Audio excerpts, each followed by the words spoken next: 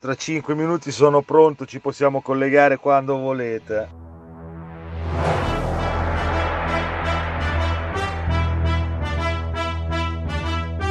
Radio Carro, la radio strana per gente strana che ti fa sentire strano.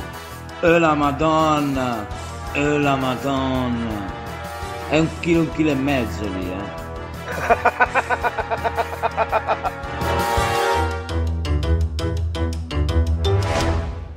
Comunque il tuo e la madonna, mi hai fatto morire.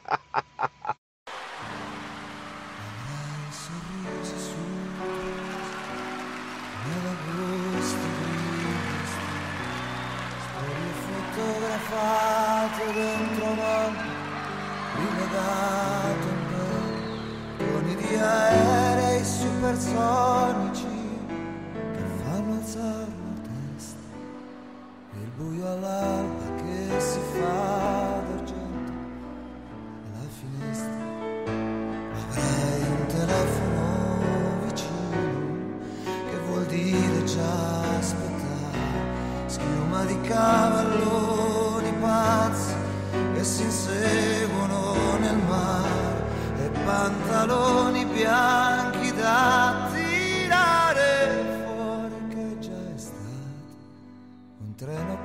l'America senza fermate. Avrai due lacrime più dolci da seccare. Un sole che si uccide e pescatori terrellini e neve di montagne e pioggia di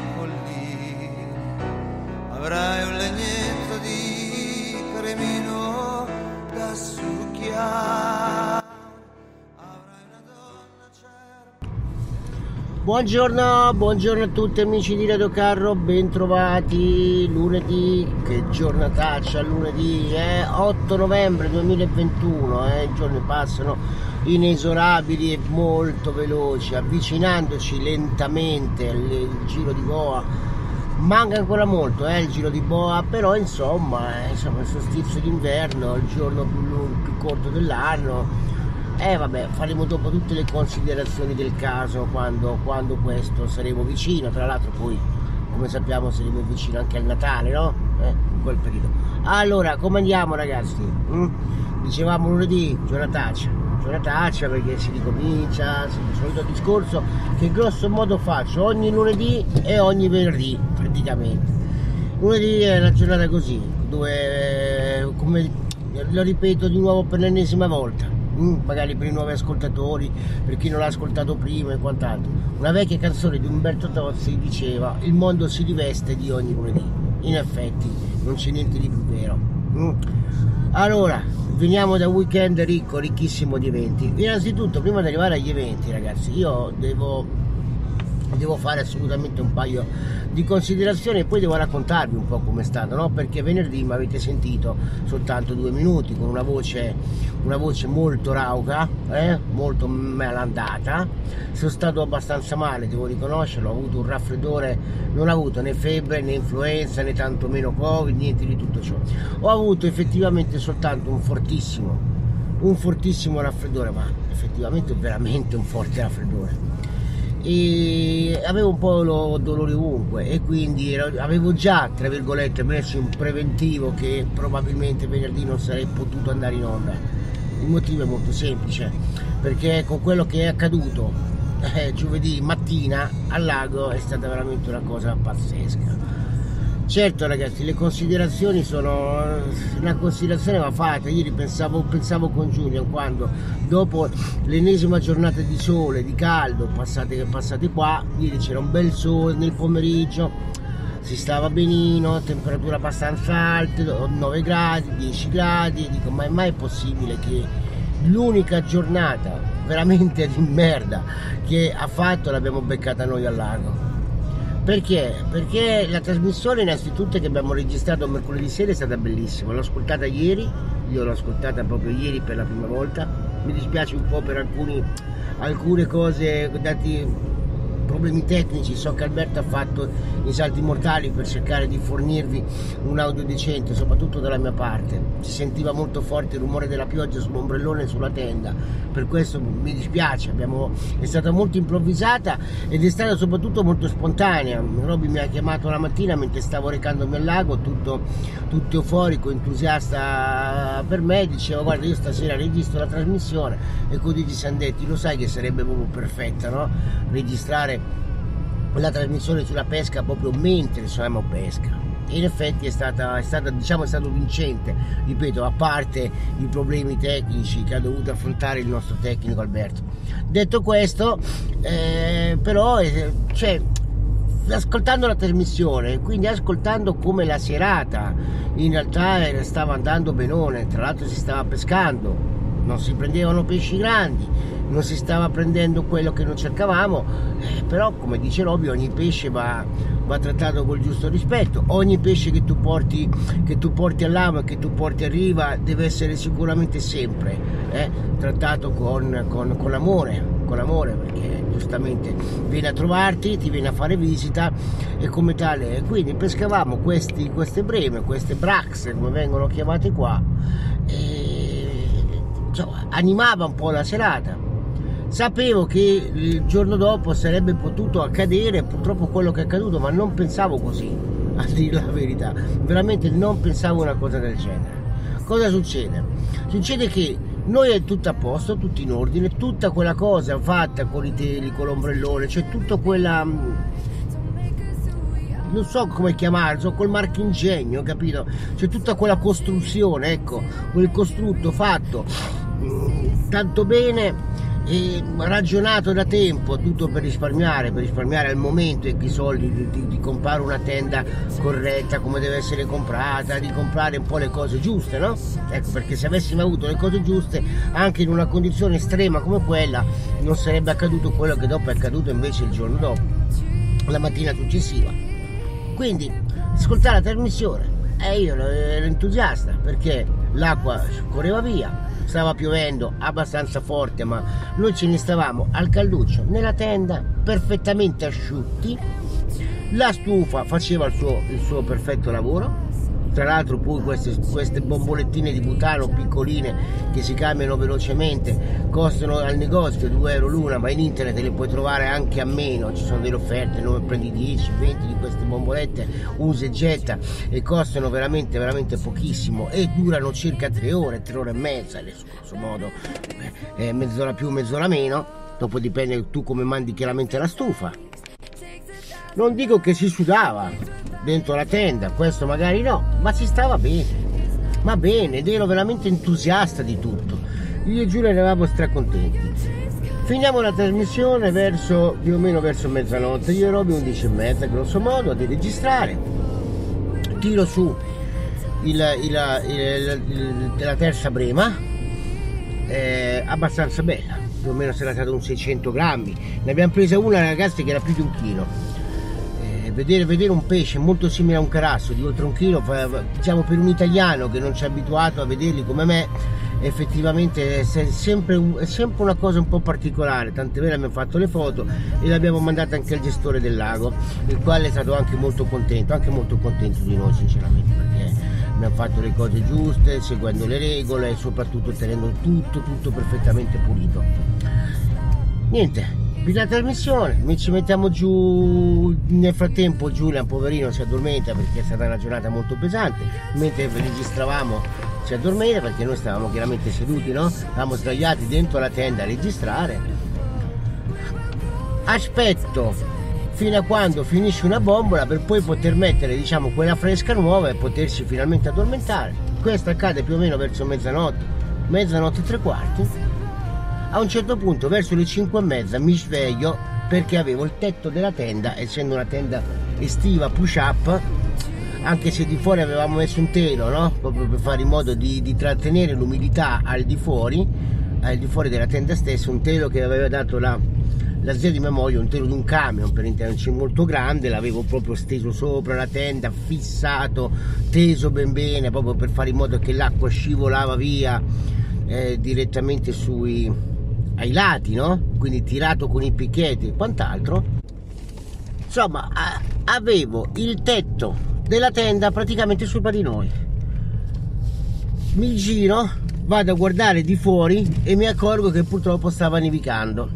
Aveva cominciato a nevicare adesso non so quando penso verso le 4 più o meno. Aveva nevicato circa da un'oretta.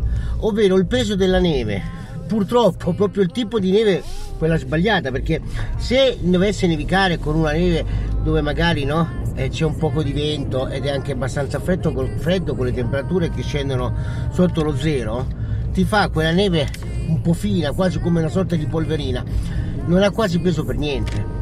Invece quando ti fa quella neve con le temperature che stanno a un grado 0 gradi proprio che, che, che tocca così è una neve bagnata si dice no? quindi quella sorta di acqua neve che ha un peso, peso è molto pesante e molto appiccicosa. Quindi il peso ha fatto in modo di abbassare la, te la tenda. Ma non solo. Mi sono accorto che l'ombrellone con i teli praticamente i teli di fianco per colpa sempre del, del peso si era piegato da una parte.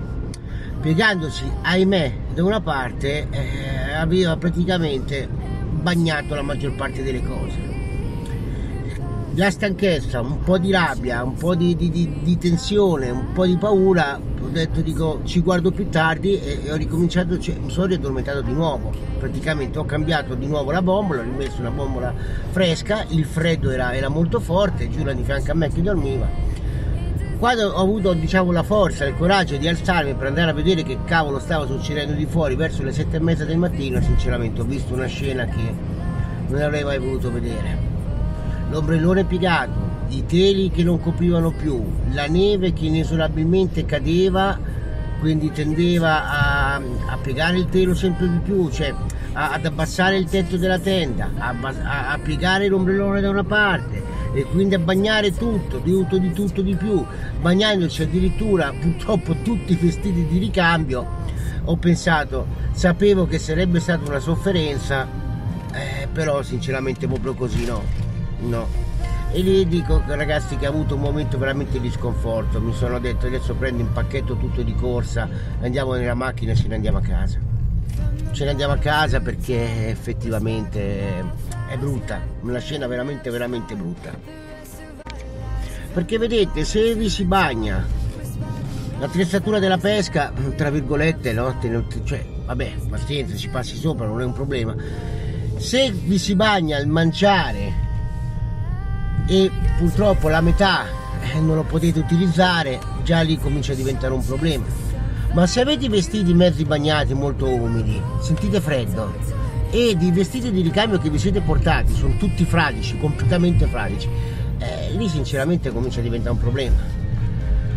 Fatto sta che armatici entrambi, sia io che Giulia, di tanta pazienza e soprattutto di, di, di tanta forza di volontà, usciamo fuori, cerchiamo di raddrizzare l'ombrellone, rimettiamo i teli, cerchiamo di salvare il salvabile, mentre stava nevicando fortissimo a dei fiocchi molto grossi e tutto il panorama di fronte a noi, a quel punto lì ormai chiaramente era giorno, erano le 8 circa, era completamente bianco, completamente bianco.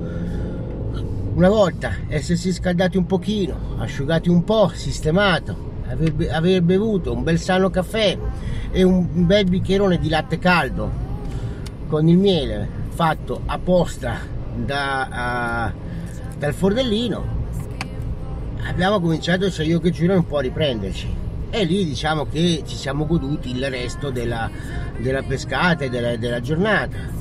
Perché nonostante tutto, che era bagnato, che era difficile, che faceva freddo e quant'altro, mi sono detto ma come sarebbe a dire? Sono due mesi che aspettiamo che organizziamo questa pescata ne ho parlato tanto appunto con Roby ieri abbiamo fatto una trasmissione bellissima è la prima notturna che faccio insieme a mio figlio Julian e sapevo che era una sofferenza adesso che c'è veramente da soffrire che faccio? prendo vado via come una sorta di eh, di vigliacco in un certo senso? no no no anche per dare un po' di buon esempio anche allo stesso, allo stesso Julian dopo aver, essermi un pochino sfogato anche con Robin la mattina l'ho chiamato e dico ah sono disperato avanti e indietro so, sono fatto coraggio e ho ributtato le canne in acqua abbiamo risistemato e devo dire che ci siamo goduti così nonostante il fatto che ormai i danni erano stati compiuti il resto della, della, della mattinata di pesca ed è stato altrettanto, altrettanto bello, insomma, è stato piacevole, è stato. Abbiamo pescato anche di più di quello che normalmente avremmo dovuto pescare. Abbiamo preso eh, altri, altri pesci, altre breme, ne abbiamo presi in tutto, in tutto sette.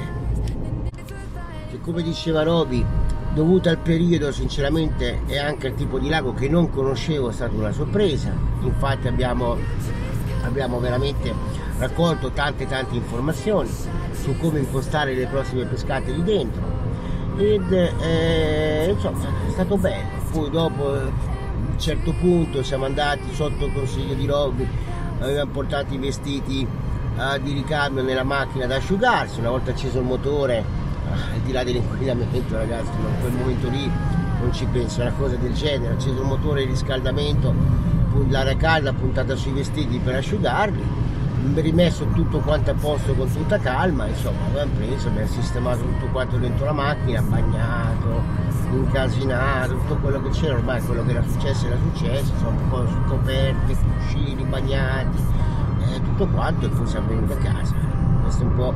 Dovevo, dovevo dirvi questa cosa anche perché Over il fine settimana mi aveva chiesto com'è andata, io non ho avuto tempo di rispondere privatamente, quindi Over, ecco ti ho risposto qua in radio eh, rendendo un po' partecipe un po' tutti, perché? Ma perché ho deciso di, diciamo, di spendere tra virgolette questi minuti in una trasmissione che non c'entra niente perché la trasmissione di mercoledì sera, la registrazione è stata molto molto bella, molto bella. E ascoltandola ieri veramente ho pensato, dico ma guarda te, mannaggia la misera, purtroppo l'unica giornata diciamo un po' brutta e l'abbiamo beccata noi, l'unica giornata veramente brutta l'abbiamo beccata noi, però ha anche detto che il panorama, lo spettacolo e la prima volta No, mi era capitato un'altra volta di pescare al fiume mentre stava facendo la neve tantissimi anni fa, quando stavo facendo campionato, il campionato provinciale, e...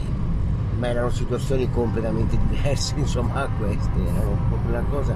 Questa è stata veramente la prima volta in assoluto che ho fatto la tecnica del car fishing, del, del method feeder, eh, praticamente proprio con la neve, con la neve ed è stato veramente particolare, insolito, ripeto, bello, c'è stato da soffrire ma è stato molto particolare.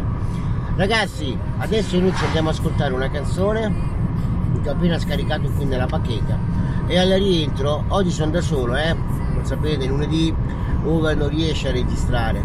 Se riesce a registrare normalmente lo passa ad Alberto, il quale deve anche non montare il file, quindi normalmente Over lo sentiamo sicuramente domani. Vediamo durante la settimana se riusciamo a fare una diretta anche con la nostra Barbara. Vedremo un po' uh, così da farsi bambini ritorneranno a scuola, quindi all'asilo, eh, bisognerà vedere, anche se devo dire che sia Amelie che adesso anche Giulia, insomma, quelle raffreddure molto forti, quella tosse esagerata l'hanno presa anche loro. Era, ma era, era, normale ragazzi, era, cioè, era messo in preventivo, fa parte del gioco che poteva accadere una cosa del genere. È chiaro che, concludo il discorso, se avessimo avuto la tenda corretta, quindi una tenda giusta, dove la neve anche se ti si posava sopra la tenda lo facevi in modo di calare, di, di, crollare, basta come ho fatto poi un po' di botte da sotto a sopra per toglierla, non avresti sistemato tutto. Una tenda dove ehm, diciamo non l'ombrellone che si piega da un lato, quindi c'è un costrutto veramente molto molto molto fragile avendo avuto l'attrezzatura corretta e tutto quanto, tutto quel casino della roba bagnata che è successo non sarebbe accaduto. Ecco perché insomma una volta arrivati a casa sono andato a corse lì, sono subito in corse ripari, ho subito acquistato l'ombo alla tenda che adesso mi dovrebbe arrivare in settimana e poi col tempo insomma verso Natale vediamo di comprare anche tutto resto delle cose, materassini, lettini, e, e sacchi a peli, insomma tutto quello che serve perché se una cosa che questa, che questa avventura ci ha imparato sia a me che a Giulia è che è una cosa che ci piace tantissimo, che vogliamo sicuramente proseguire a fare, ma che però se la vogliamo fare va fatta nel modo giusto. Nel modo giusto e corretto, non solo con l'attrezzatura da pesca che deve essere chiaramente eh, all'avanguardia, ma deve essere anche no, un'attrezzatura affidabile e che, che, ti consente poi no, di, di, arrivare alla distanza giusta, di pescare con il modo corretto, con l'esche corrette, ma anche di stare comodi. perché come dicevamo appunto nella trasmissione di ieri, questo tipo di pesca, queste battute di pesca non sono le pesche che, che si fanno al fiume che durano 3 ore, 4 ore, che sia. Queste sono battute lunghe, molto lunghe. E la nostra flemme e tutto il resto ha bisogno assolutamente di comodità altrimenti non è possibile praticarla. Allora gli dicevamo velocemente una bella canzone e poi al rientro mm, andiamo a parlare un po' sia di Formula 1 che di calcio di quello che è successo questo fine settimana. A dopo, rimanete lì, eh, non andate via.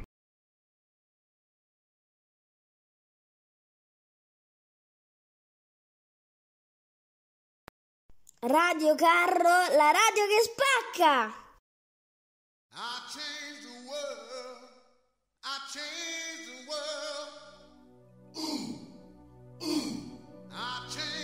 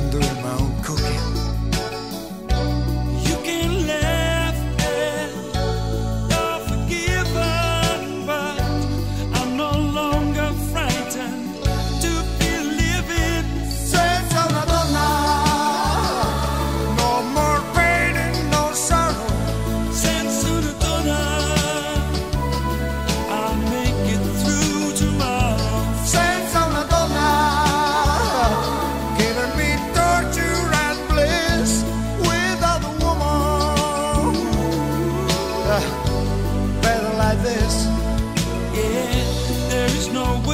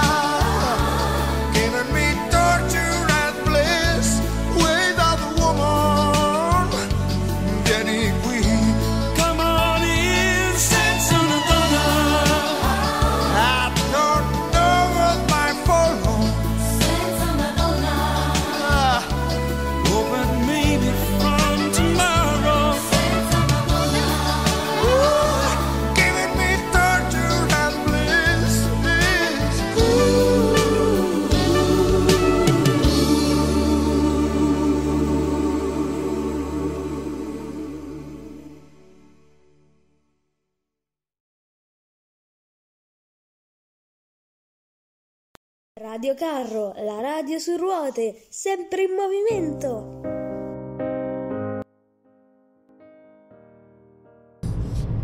Oh, rientriamo, rientriamo, eh. Bella sto pezzo, eh, di zucchero. Mm, quanto è difficile fare i lavori qua eh, di regia eh, mentre, mentre si cammina. Tra l'altro oggi il tempo eh, pio- piovigina un pochino, perlomeno è piovuto, adesso non più, è piovuto pochino poco, pochino poco. Che grande, che grande italiano, eh. Insomma, ha fatto qualche goccia di pioggia e insomma un po' bagnato per terra, ma non ci sono, non ci sono problemi. Temperatura di 4 gradi, quindi non c'è rischio di, di ghiaccio, di neve, di niente. Quindi possiamo liberamente fare funzione. Perché come dico sempre, la pioggia non dà fastidio. È un po' fastidioso magari quando si scende, no? che per portare la busta, così, però non è fastidioso nella guida.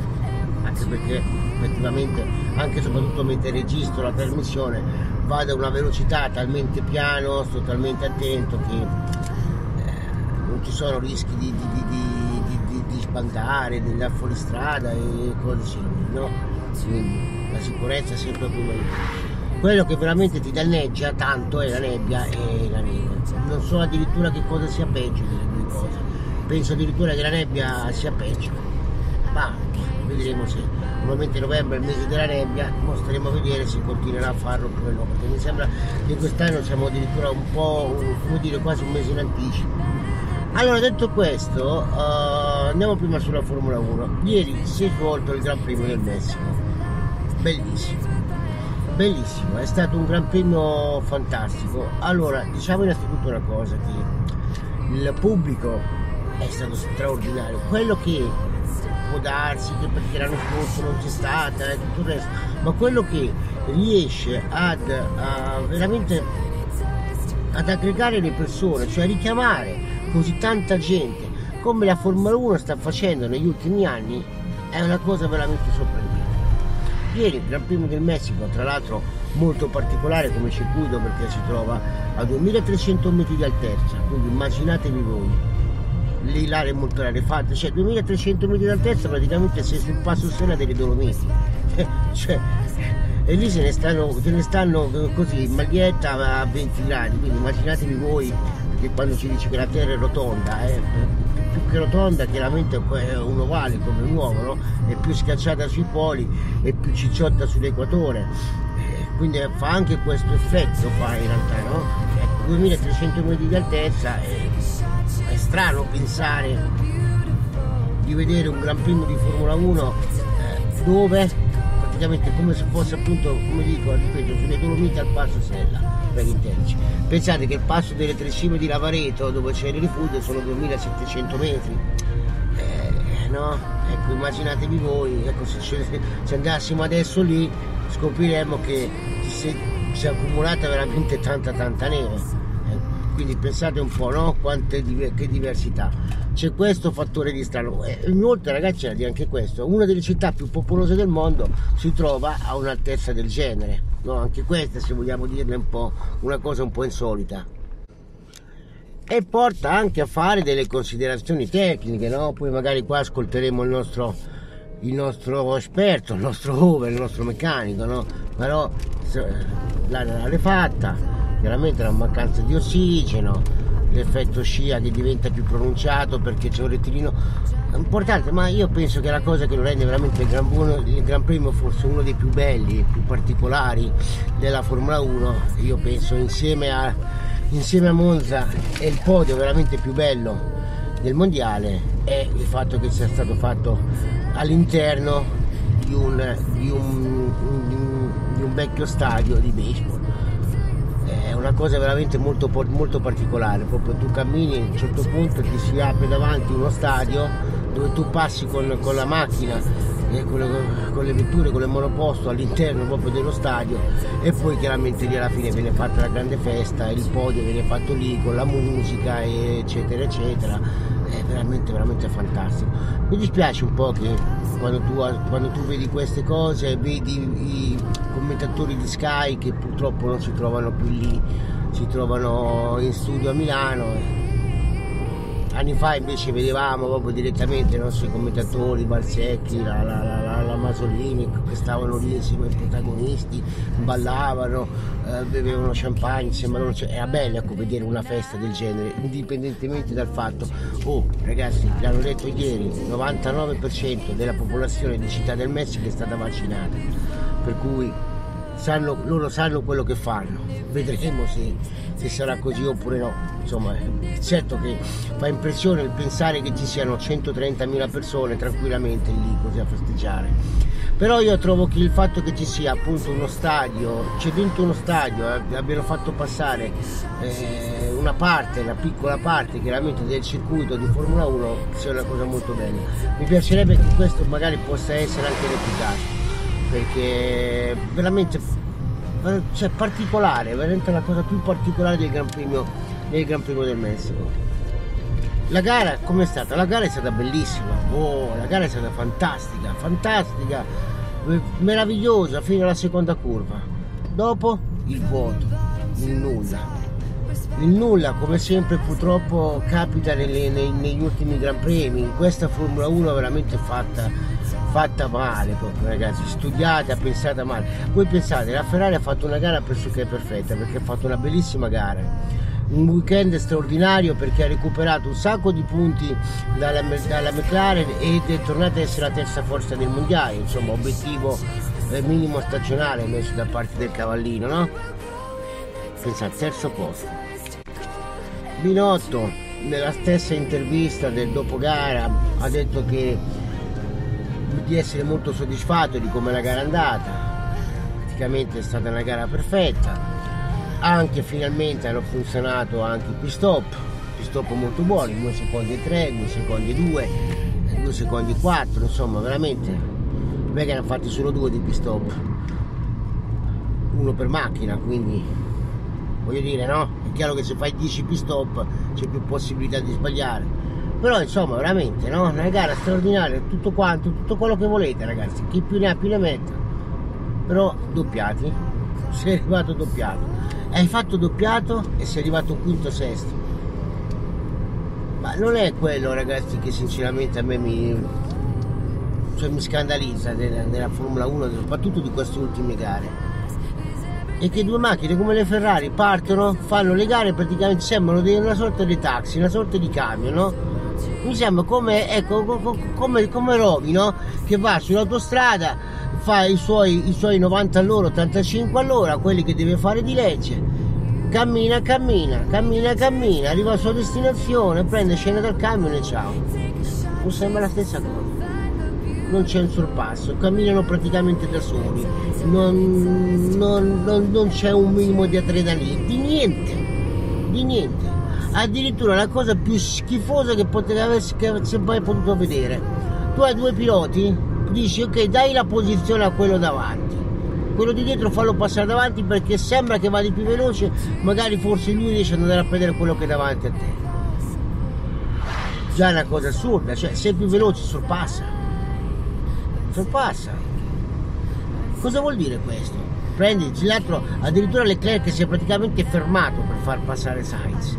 Lo fa passare, Sainz fa due o tre giri buoni, sembra che si avvicina, commentatori Sky che mi fanno ridere perché giustamente no, non lo fanno il loro mestiere, mettono quell'empatia, urlano Fucsia da parte di, di Sainz che lo vuole andare a prendere, sì lo vuole andare a prendere, dai dai, vamonos compagnero, se fanno casino, questo e quest'altro, quell'altro, prende accelera, fa due giri veloci, boh, si rimette lì, li, li stabilizza, lo- il distacco, rimangono quei secondi che rimangono, dopo un po' prendi e vedi Sainz che si ferma per far passare Leclerc, mandate a quel paese. Ma cos'è? Ma una gara questa? Ma che cos'è? Ma cos'è? Una gara? È una gara di Formula 1. Poi Perez che diceva ha, ha cambiato le gomme più tardi per avere le gomme un po' più fresche. Bene. Ok, ritorna in pista dopo il cambio gomma a 7 secondi. Bene. Corre come un matto per portarsi lì davanti. Di nuovo il commentatore Sky. Sentite il pubblico che spinge.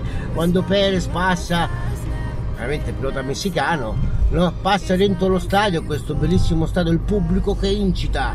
Dai, Fuchs da parte, giro veloce, giro veloce da parte di Perez che si avvicina, ha recuperato mezzo secondo nei confronti di Lewis Hamilton, è sempre più vicino, lo vede, lo vede come una carota, come, come, come, quando, come il cavallo che vede la carota, questo ti dà una carica al commentatore tecnico, ce n'è che spinge, sì, dai, che... Oh, se va lì vicino si porta di dietro la macchina di Lewis Hamilton e questa non è la prima volta che lo vediamo, lo vediamo da tutto l'anno, poi si cominciano a scaldarsi le gomme. Arriva l'aria cattiva, l'aria sporca della macchina davanti, si scaldano le gomme e la macchina non cammina più. La macchina non va più. Ma che cazzarola di senso è? Ma cos'è questa roba? Ma cos'è? Ma l'ha presa in giro. Dice adesso finalmente è più veloce, si è portato di dietro, mo lo sorpassa, mo tenta di fare un sorpasso, farà qualcosa. No, si porta di sotto e poi la macchina non cammina più perché si scaldano le gomme. Si scaldano le gomme. Ma l'aria sporca, l'aerodinamica della macchina, fa in modo mandata, mandata a quel paese per non dire, per non dire altre parole. Ma, ma, ma cos'è? Ma cos'è Formula 1 questo? Verstappen che prende fa sta cavolata che ha fatto Bottas anche sta cosa, no? ti ordini di scuderia no ma devi far passare prima questo, devi dare l'effetto scia, devi fare qua, devi fare quest'altro, no? gioco di squadra, su e giù, no? cercare, poi alla fine i piloti fanno una gran confusione, vanno in bambola, non capiscono chi c'è dietro, chi c'è dietro di me, Verstappen fa il furbo, prende, passa davanti, una volta davanti, boh, non lo prendi più, fa la gara per conto suo, non viene mai inquadrato dalle telecamere perché tanto non c'è motivo, cioè, e poi, e poi fatemi dire anche questo ragazzi, affidabilità non esiste più le macchine arrivano tutte, i sorpassi tutti attenti con l'attenzione perché se fanno una manovra fuori posto gli danno le penalità, gli danno questo, gli danno quell'altro, quindi fare stare attenti che non succeda niente. Quindi i sorpassi, le lotte, le cose non le vedi più. Dai, ma dopo se la, qualcuno la chiama Formula Noia, ma come fai a dargli torto? Cioè, ma come fai a dargli torto? E nonostante tutto, nonostante tutto, 130.000 persone eh, a fare festa a fare festa a vedere, a vedere questo spettacolo. È stata la stessa cosa due settimane fa negli Stati Uniti in Texas. Io non lo so ragazzi, ma a me mi diverte più guardare le qualifiche che non la gara. La gara, la gara non, dice, non dice niente, non dice, ragazzi, non dice più niente. Succede qualcosa solo nella partenza, poi il vuoto totale nella gara, il vuoto più assoluto non, ma ci manca quella componente sorpresa no, che fanno parte delle gare. Io mi ricordo un mondiale, l'ultimo mondiale purtroppo che ai noi perse il grande Schumi, il grande Michael Schumacher perché eh, partì male durante l'anno, Alonso gli, gli, gli prese molti punti di vantaggio. Eh, la seconda parte della stagione eh, Schumacher che fece di tutto, di tutto, vinse gare su gare su gare per riportarsi a pari punti nella gara fondamentale, la penultima gara che avrebbe dovuto sorpassare e dare l'ottavo titolo, l'ottavo, l'ottavo titolo di dato, eh, primo, da solo, boom, si rompe il motore. Eh, si, si rompe il motore e quindi è costretto al ritiro. Una componente che ci stava, no? che, che, che può capitare queste macchine queste arrivano cioè partono arrivano primi e poi cioè ragazzi arrivano due o tre giri indietro. Ma ieri vedevo dopo 10 giri le due Ferrari dopo 10 giri calcolate che hanno fatto 3-4 giri dietro la safety car avevano 12 secondi di svantaggio 12 secondi indietro.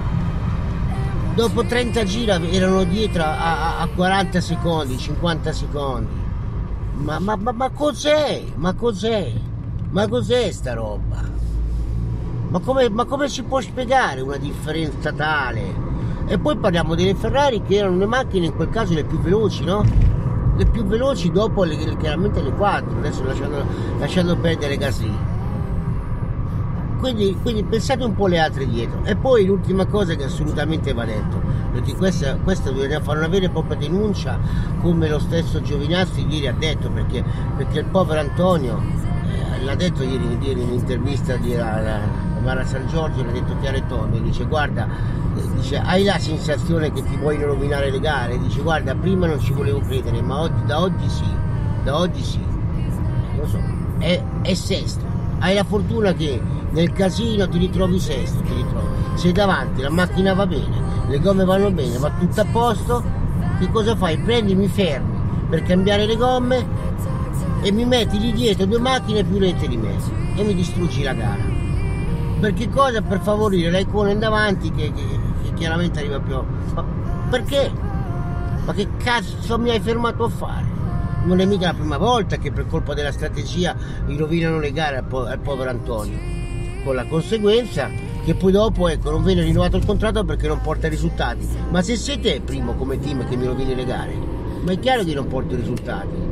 E infatti, cioè, poi, e infatti viene scelto Bottas come, come pilota a, a, a, prendere il posto, no? Dello stesso Antonio. E poverino non ha neanche il contratto, non, non, ha, neanche il posto in Formula 1, non riesce neanche a trovare un, a, trovare un, un sedile. Questo è veramente, da parte poi di cosa dell'Alfa Romeo, poi parliamo di un pilota Ferrari, eh, perché Antonio Giovinazzi è un pilota Ferrari. Eh è uno schifo. Io spero e mi auguro che lui si merita assolutamente un sedile, della, un sedile in Formula 1, si merita di, di, avere il suo posto e soprattutto si merita anche di fare una bella carriera, una grande carriera, perché il talento c'è, il talento c'è, la qualità c'è. Ogni volta che fa una gara bella, fa qualche giro buono, la, o c'è anche la componente sfortuna che gli dà addosso, eh, ma soprattutto la squadra che con le sue strategie assurde, cioè penalizzano Giovinazzi per favorire l'Icone. Cioè è anche controproducente, ma proprio per. Cioè ieri potevano fare, che ne so, settimo ottavo o settimo nono, facevano più punti. No, rovini la gara di Giovinazzi per favorire l'Icone, il quale arriva a punti, Giovinazzi te lo tieni lì dietro per conto suo, a fare la gara tutto solo, così, ho due macchine più, di, più, lente di me poi sempre quel problema che se tu sei dietro una macchina non, non, non puoi fare niente, non puoi sorpassare, la macchina non cammina più, le gomme si scaldano. Io ragazzi sono veramente, veramente scioccato. Voi direte cosa le guardi a fare? Non, sono come mio suocero che dice non la guardo più la Formula 1 per protesti, no, io no, veramente. Adoro le gare, adoro, adoro guardarla perché, perché mi piace, mi piace quello che c'è intorno, la tecnica e tutto quanto, mi piace ascoltare anche i commenti di, di Over che chiaramente vede cose che io da profano no?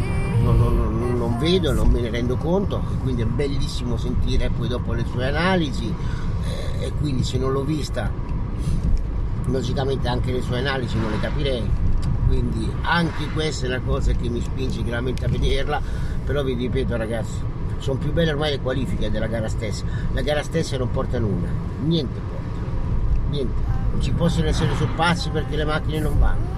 Non ci, può, non, non, non ci, sono rotture affida, di affidabilità. Le squadre che fanno questi giochi subdoli di squadra, praticamente dove non vedi neanche i combattimenti, almeno tra compagni di squadra, non vedi niente, non vedi. Cioè vedi veramente quello che disse tanti anni fa, adesso non mi ricordo, lo stesso Marchione addirittura lo disse. Eh? Forse Marchioni, non so, lo Brown lo dico, mi ricordo, no, mi ricordo esattamente chi lo disse, ma disse sembra di vedere dei taxi che camminano, in effetti. Cioè pensare, ripeto, pensare alla gara delle due Ferrari, quinta, sesta, doppiate, hanno fatto una gara così, cioè sembrava di, cioè, a momenti, sapete com'è, no? La classica scena, con il gomito appoggiato fuori dal finestrino, così fuori dal cruscotto, intanto guida e intanto mentre si fuma una sigaretta. Perché ragazzi, ma io non lo so, ma cos'è? Ma cos'è la corsa di Formula 1 questa? Eh? E poi dai la posizione, fallo passare davanti, ma no, non ce la fa sorpassare, fallo rimettere indietro, ma ci eravamo messi d'accordo prima in scuderia, ha detto, ha detto Binotto di fare così, se qualcuno, ma lasciali guidare senza ordini di scuderia, io le abolirei completamente gli ordini di scuderia. Basta, non esistono più ordini di scuderia, andate e correte e se vedo che vi mettete d'accordo che uno facilita il sorpasso, ti squalifico dalla gara e la gara successiva non la fai nemmeno allora sì che vedremo un po' qualcosa in più. Scusatemi ragazzi, ma ripeto, nonostante tutto che mi è piaciuto, mi è piaciuto vedere, mi è piaciuto vedere i commenti, io sono avvelenato con questa Formula 1. Sono veramente avvelenato. Allora, ultimo tranche, ultima pausa musicale, abbiamo un'altra canzone che avevo preparato per voi oggi e, e poi dopo andiamo un pochino a dire qualche un paio di commenti sul calcio, anche qua poco da dire alla fine dei conti, eh? non è che ci sia chissà che cosa. Quindi a dopo, eh, rimanete lì, non andate via.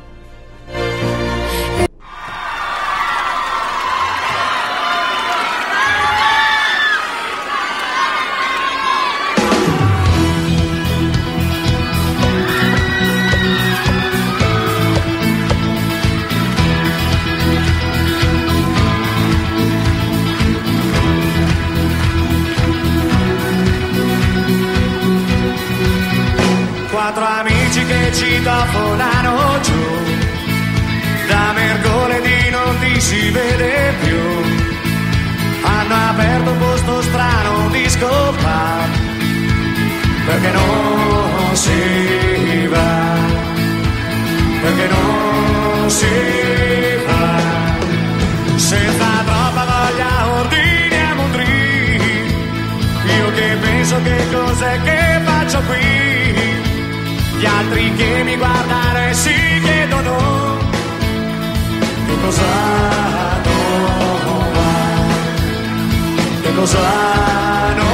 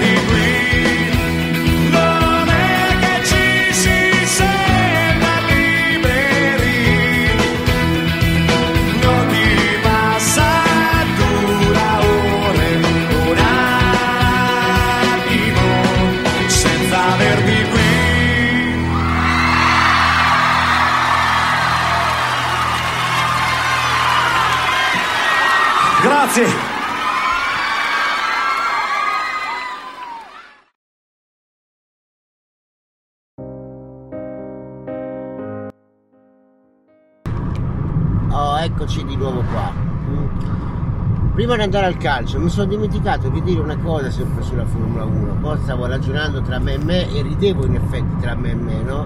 Cioè, pensare, pensare due Ferra- alle due Ferrari mi veniva da ridere, no?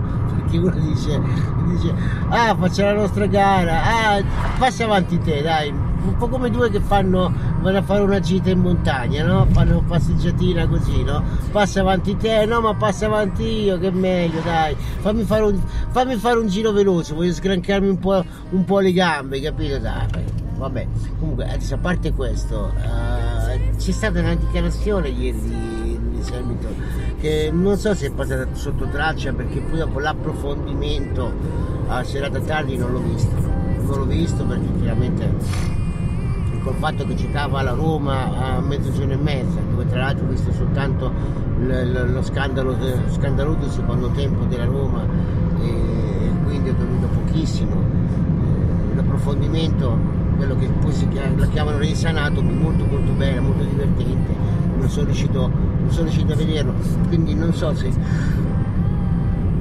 Oh, Scusate, ecco, parlando che ho dormito poco, eh, mm, se è passato sotto traccia no. Ma ieri Hamilton, per la prima volta da quando la Mercedes ha fatto un'accusa grave, ha fatto un'accusa grave che sicuramente il caro Toto Wolff non penso che la lascia passare così in cavalleria. Ha detto, dice, gli altri migliorano la macchina, la macchina va veloce, ha degli step e noi abbiamo la stessa macchina di Silverstone. Dice io sto facendo tutto quello che posso, ma sto combattendo con una macchina che è la stessa macchina di Silverstone, cioè che non porta avanti degli, degli degli aggiornamenti, soprattutto sulla potenza quasi come se gli anni, cioè, quasi come, quasi come da dire, sai, gli anni successivi facevamo la stessa cosa e vincevamo perché non c'erano rivali. Quest'anno i rivali ce l'abbiamo e perderemo il mondiale perché, non so, mi ha un po' ricordato che in questo caso chiaramente il povero Luis ha pienamente ragione, perché se la macchina è la stessa di Silverstone, che cosa può fare di più?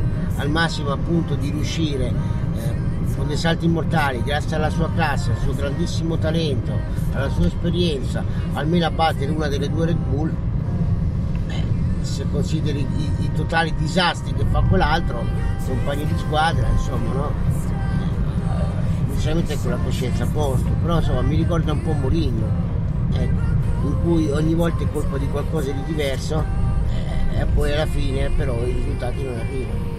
Ragazzi, ieri eh, al di là di tutto quello che è successo, della giornata calcistica che c'è dentro, tutto quanto, è chiaro che dal punto di vista giornalistico, ma non solo, ma non solo, la sconfitta della Roma è proprio il colpo più grosso, è la cosa più grave, tra l'altro viene sorpassata anche dalla Lazio in classifica. Io ho una sensazione, qualcuno dice ma Mourinho è bollito, Mourinho è bollito. No ragazzi, non è questione di un Mourinho bollito, che poi non so neanche che cavolo vuol dire. Cosa significa una persona bollita? Boh, cosa vuol dire? Che, che- che è rincoglionito? Non lo so io, che una persona è talmente rincoglionita che non riesce più ad allenare. L- L'allenatore che in questo momento insieme a Guardiola è l'allenatore più vincente della storia del calcio, ah, cioè diciamo contemporaneo, ma che, vabbè, lasciamo stare i grandi del passato, no? Alla Vittorio Pozzo, due mondiali, un'Olimpiade, scudette, tutto andare, lasciamo stare queste cose qua, no? Ecco, diciamo nel calcio contemporaneo che all'improvviso non so, non sei più capace di allenare, no. E che vedete ragazzi, mi, sono, mi sto sempre di più facendo quest'idea, che tra l'altro penso che sia, in questo caso chiedo anche a Over, no? Ecco l'intervento proprio di un allenatore, di un allenatore vero come lui. Se allenare per tanti tanti tanti anni, per più di, per più di vent'anni, no? Perché da- da- dal primo porto che vinse la Champions League nel 2004 e nel 2002 mi sembra che vinse, che vinse l'Europa League, il Porto, adesso mi ricordo se fuori dal 2002-2003, francamente, sono sempre passati quasi vent'anni, no?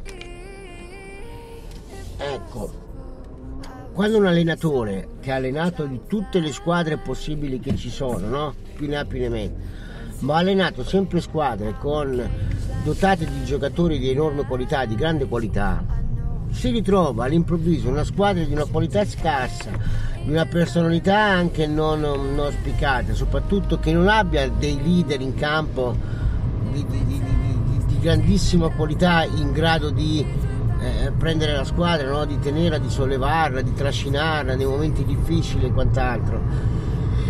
Ed in più che, si, che debba costruire qualche cosa, tutto il resto io penso che è proprio questo che ti porta in difficoltà, ma proprio a livello, cioè, a livello del quotidiano, a livello del lavoro quotidiano, perché poniamo questo esempio, no? Se io ho un giocatore ho un gruppo di giocatori di qualità, soprattutto ecco, magari nel reparto offensivo davanti, no?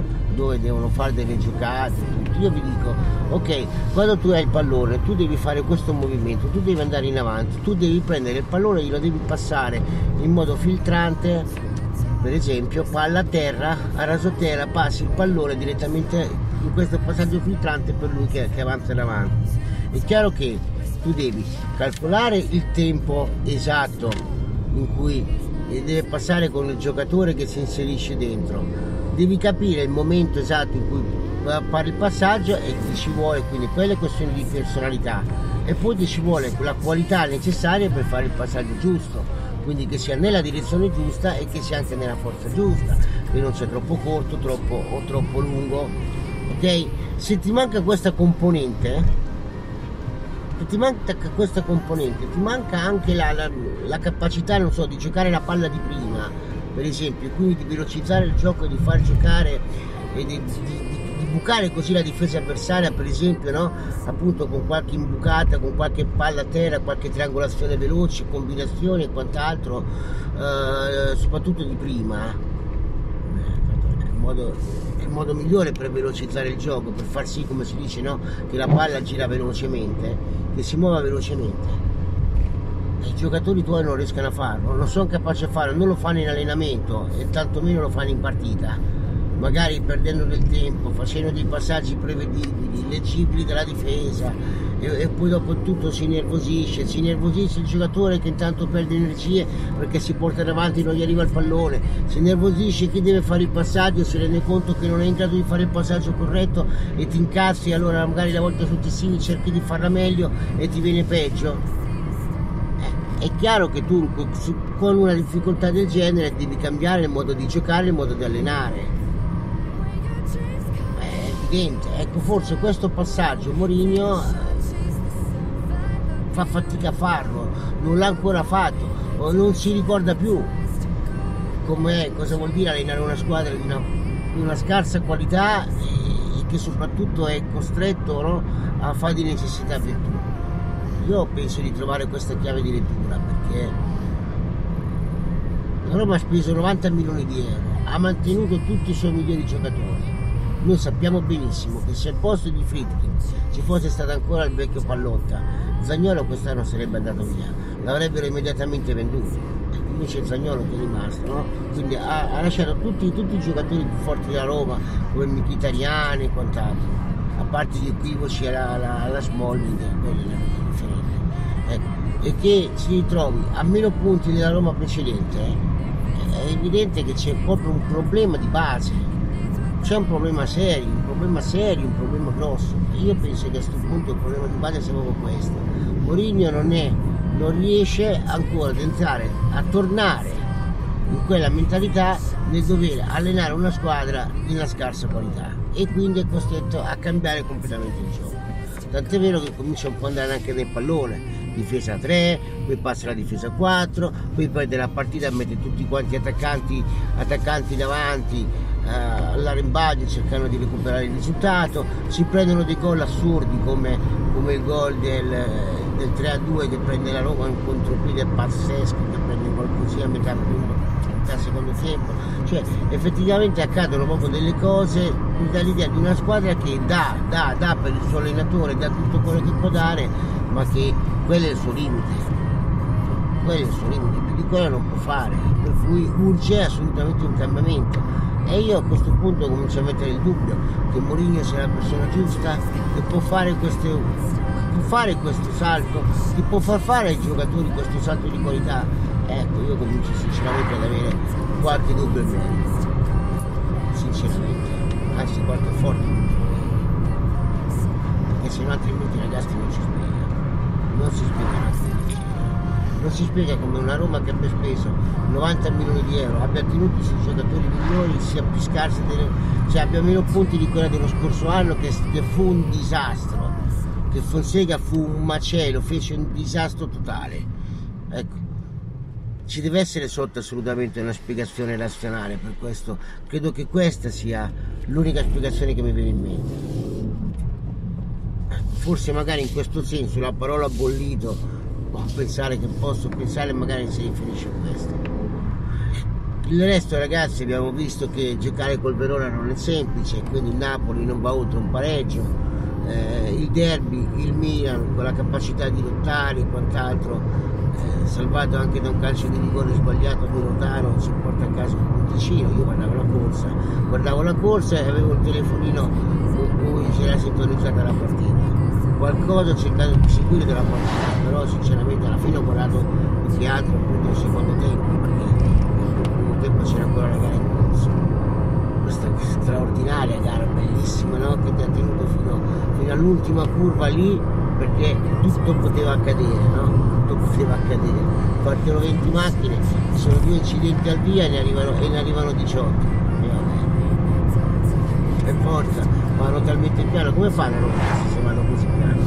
Vabbè dai, lasciamo stare.